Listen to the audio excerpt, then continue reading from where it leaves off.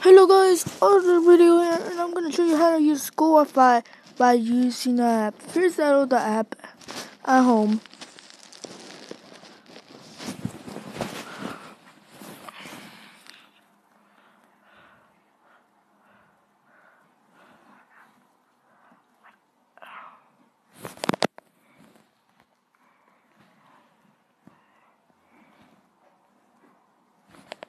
Sorry. I got it.